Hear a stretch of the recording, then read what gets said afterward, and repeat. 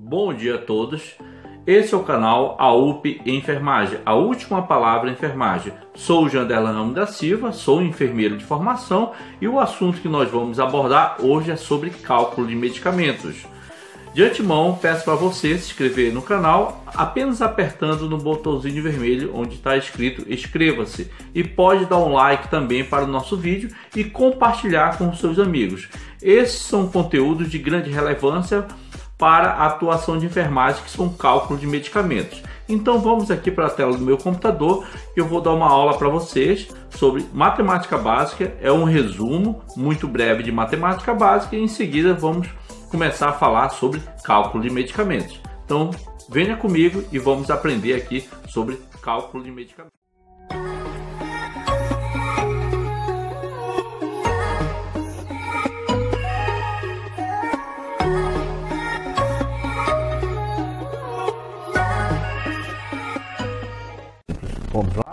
Nosso nosso resumão aqui, a regra de três simples é para resolver problemas que relacionam dois valores de uma grandeza, ou seja, já está falando para nós, está sendo bem claro, é para resolver problemas que relacionam dois valores de uma grandeza. Então aqui eu coloquei duas grandezas para vocês, uma grandeza x e uma grandeza y. A grandeza x1 e a grandeza x2, a grandeza y1 e a grandeza y2.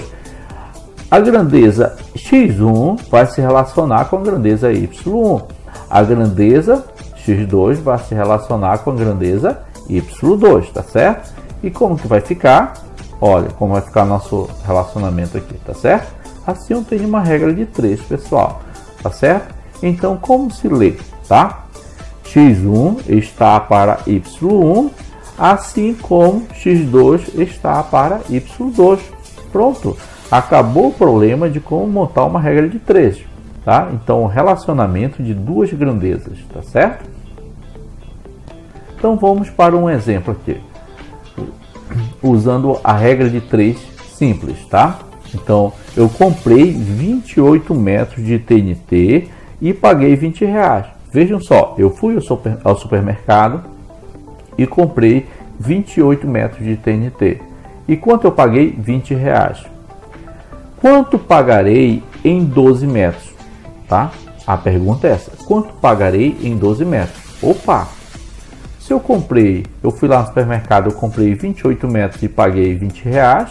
E quanto que eu vou pagar agora é, quando eu comprar, que eu voltar lá e comprar 12 metros de TNT, tá certo? Então, nós temos aqui duas grandezas do metro, né?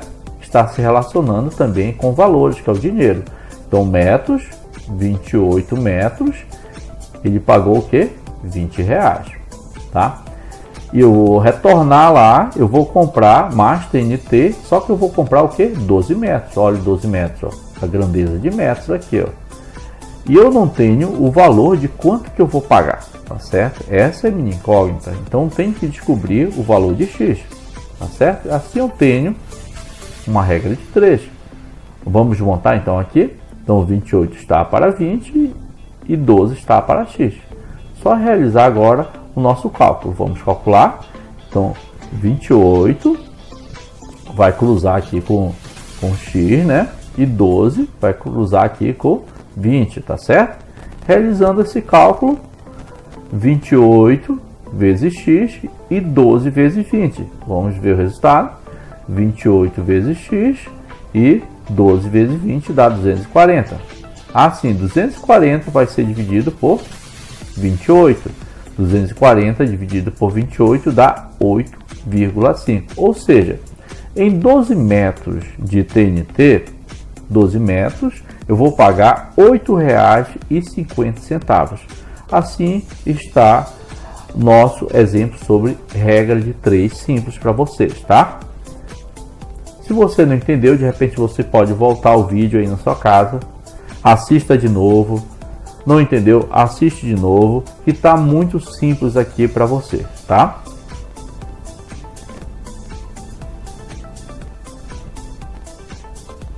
Vamos falar aqui sobre porcentagem também, que muitas vezes está realizando cálculos de medicamentos e lá tem um medicamento que vem em porcentagem, principalmente soro fisiológico, glicosado, e, é, as ampolas de glicose né, vem em porcentagem, alguns medicamentos também vêm em porcentagem e a gente compreender e entender essas porcentagens. Né?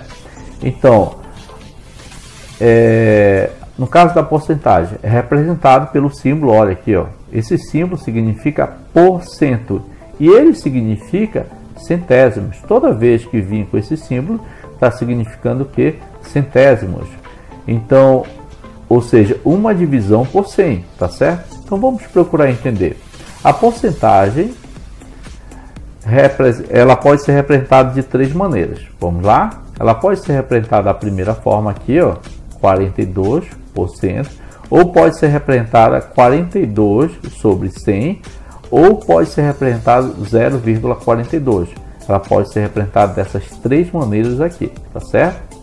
Então toda vez que vir por cento, estou me referindo a 100, tá certo? Vocês vão compreender melhor com esse exemplo aqui, ó. Se um jogador tem 70% de acerto de chutes ao gol, ou seja, eu estou dizendo então que esse jogador ele tem um acerto de 70% de chute ao gol. Ou seja, de 100 tentativas de chute ao gol, 70 ele acerta. Repetindo para vocês, esse jogador ele tem 70% de acerto de chute ao gol. Ou seja, de 100, tenta 100 tentativas que ele chuta ao gol, das 100, 70 ele acerta. Tá certo? Então, isso significa que cada 100 chute ele acertou 70. Por isso que ele está representado aqui dessa maneira aqui, ó. Está representado dessa maneira, certo? Então a porcentagem está bem claro na cabeça de vocês agora, né? Vamos para um exemplo aqui sobre porcentagem. Eu, funcionário público, tá? Tive 25% de aumento, tá certo? Se ganho dois mil reais, quanto que vou receber? Bom, todo mês eu recebo dois mil reais, tá certo? Todo mês recebo dois mil reais. Só que eu recebi esse aumento de 25%. Então no mês seguinte, quanto que eu vou receber? Será? Então vem a curiosidade, opa, 25% de aumento, então quanto que vai aumentar meu salário? Certo? Então como que a gente faz essa continha? Então nós temos aqui então os dados, ó eu recebo, eu recebo meu salário, dois mil reais, que são os 100%. Recebi esse aumento aqui, ó, de 25%, então a grandeza de porcentagem eu coloco um embaixo do outro. 100% está lá, eu coloco os 25% aqui.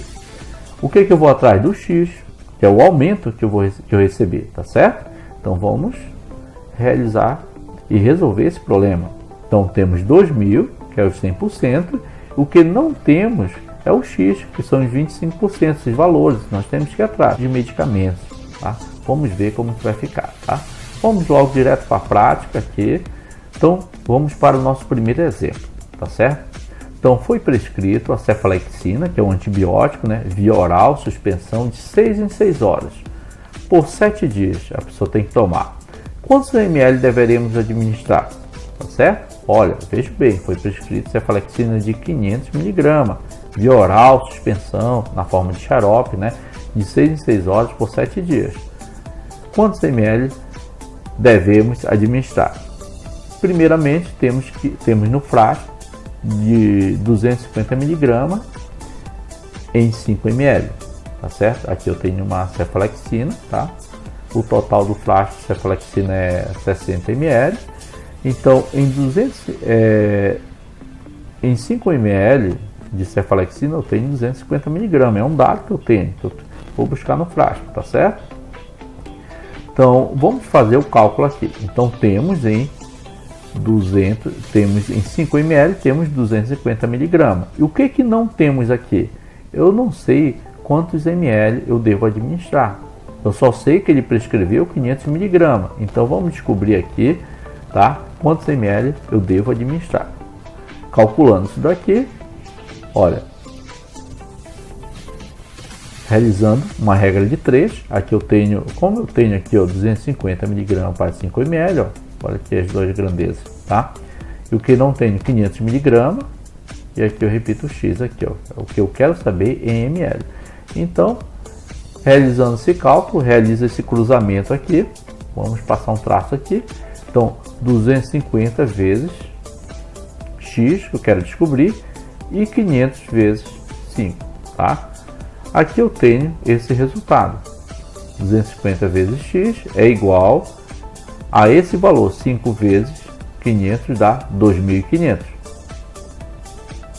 Assim, repito aqui 2.500 e vou dividir esses 2.500 por 250, que dá 10, tá certo? Então, quanto que eu devo administrar? Devemos administrar então 10 ml para o paciente de 6 em 6 horas por 7 dias. Então essa é a primeira questão aqui que nós colocamos como exemplos para vocês, tá? Vamos para o nosso segundo exemplo. Foi prescrito cefalexina de 300 mg via oral, suspensão de 8 em 8 horas por 7 dias. Nós sabemos que a cefalexina é uma cefalosporina, né? Então, quantos ml devemos administrar? Então, foi prescrito cefalexina de 300 mg. Então, temos no frasco, em cada 5 ml, temos o que? 250 mg. Aqui temos o frasco cefalexina, passamos o traço, já sabemos os dados aqui, já olhamos direitinho. Agora, o que temos? 200, temos em 5 ml, temos 250 mg e o que não temos? Nós sabemos que temos que administrar 300 mg, mas nós não sabemos aqui ó, quantos ml, tá certo? Então vamos realizar esse cálculo, calculando isso daqui, realizando a regra de 3. Olha onde está a regra de 3, acabamos de revisar. Então, 250 vezes x e 300 vezes 5. Assim, realizando, montando a nossa, nossa continha aqui. Então, dá 250x e 300 vezes 5 dá 1.500.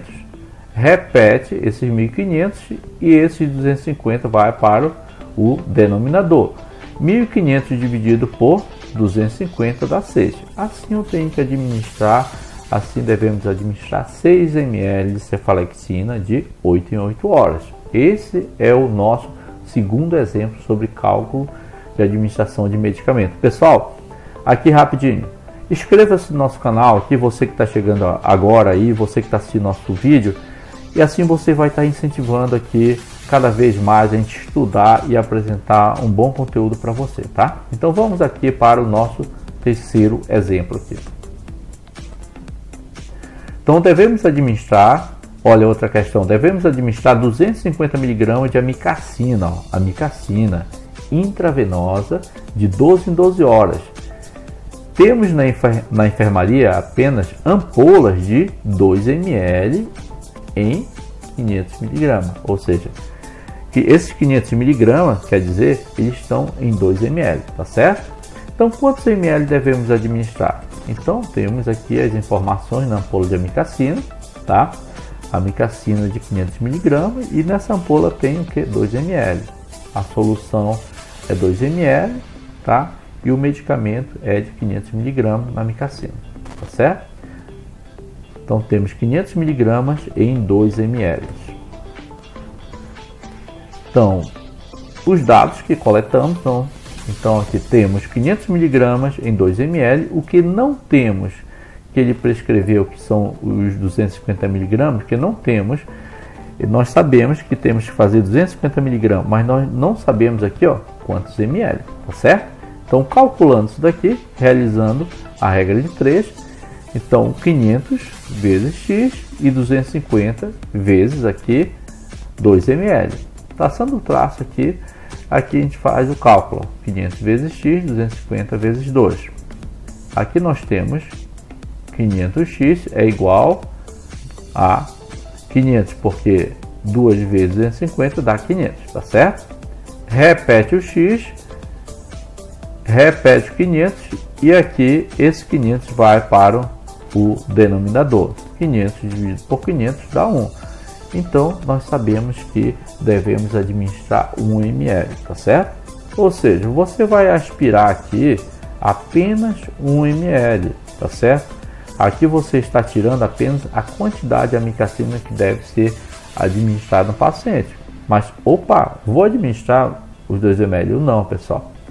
Você apenas aqui está calculando a quantidade de medicamento que você deve tirar aqui, que é no caso 1 ml, tá? Para administrar no paciente, você faz uma diluição. Você pode diluir esse 1 ml, pode ser colocado no mínimo, no mínimo aí em 100 ml de soro fisiológico, tá? No mínimo, no mínimo em 100. Você não vai pegar uma seringa de 10 ml e querer é, fazer uma diluição dessa medicação que é muito ácida, tá certo? Assim você vai estragar o acesso venoso. Então não faça isso. Faça uma boa diluição. Aqui você está aspirando apenas 1 ml. Tem que fazer, tem que fazer. Tá lembrando? a rediluição dessa medicação para soro fisiológico ou água destilada, sendo que você não pode administrar essa medicação em uma, uma pequena solução apenas. Você tem que é, ter uma diluição dessa medicação de 1 ml aí, no mínimo, no mínimo, para 100 ml, tá? 100 ml. Você colocar num frasco aí de 100 ml de soro fisiológico e fazer lentamente essa medicação, tá certo? Então, só rapidinho aqui esclarecendo para vocês que muitas vezes a gente vê isso na prática, é, é muitas vezes é, pegando, é, por exemplo, 1 ml de amicacina e de repente diluindo, é, diluindo numa seringa de 20, isso é errado, pessoal, é errado, tá? Você está judiando, está malinando o paciente. Nós da enfermagem, nós devemos o que? Proteger o paciente, fazer o nosso trabalho da melhor maneira possível, tá certo? Então fica a dica para vocês aí. Então vamos para o próximo exemplo aqui. Exemplo 4. Devemos administrar 500 mg de cefalexina EV de 6 em 6 horas.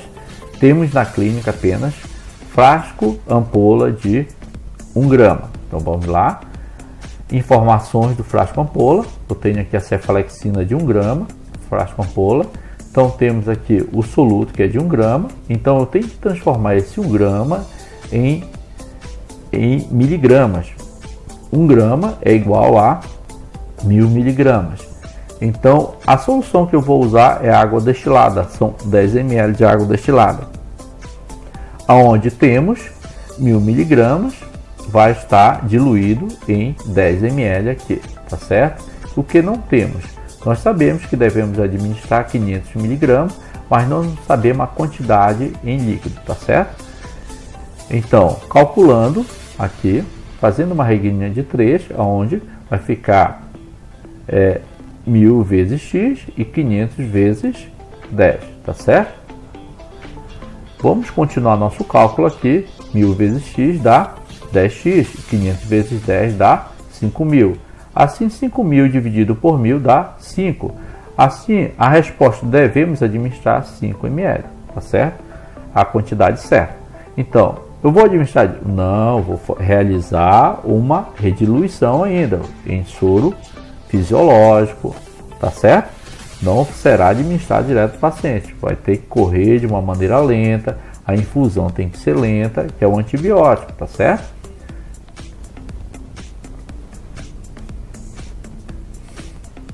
Exemplo 5. Devemos administrar 600 mg de cefalexina EV de 8 em 8 horas. Temos na clínica frasco ampola de 1 grama. Então, frasco ampola que temos essas informações aqui, a cefalotina de 1 grama do frasco ampola, temos o soluto que é 1 grama, e 1 grama é igual a 1000 miligramas. A água destilada que vamos usar, a quantidade é 10 ml, tá certo? Então, aonde nós sabemos que 1000 miligramas é, vai estar diluído em 10 ml de água destilada e o que nós não sabemos aqui, tá? Nós não sabemos 600 miligramas. Sabemos que devemos administrar, mas não sabemos que a quantidade em líquidos, tá? Então vamos realizar nosso cálculo, nosso cálculozinho aqui, onde temos é, 1000 vezes x e 600 vezes 10 ml, tá certo? 1000 vezes x e 600, é igual a 600 vezes 10. Vamos lá? 1000 vezes x dá 1000x e 600 vezes 10 dá o que? 6000. Assim eu vou dividir, repito, 6000 aqui e vou dividir esses 6 mil por mil. Assim eu tenho o valor de, de 6, tá? O que, quanto que eu devo aspirar daí de dentro, tá certo? Devo aspirar daí de dentro dessa medicação aqui, ó, após fazer a primeira diluição, devo aspirar 6 ml.